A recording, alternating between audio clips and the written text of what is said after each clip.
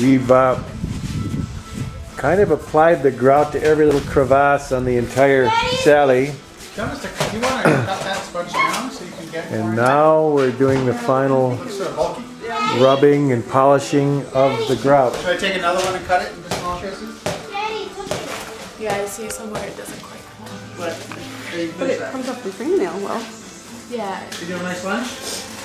Yeah. Do you think, Kevin? For making lunch? You know, I was very concerned about the way these ears are going to turn out, but I like the way they're it's smoothed out a lot. Are the scissors still out here? No, they went back in the house. But I think that straight edge razor is still out here. Oh, is there a straight edge razor? But there was a safety razor. Where?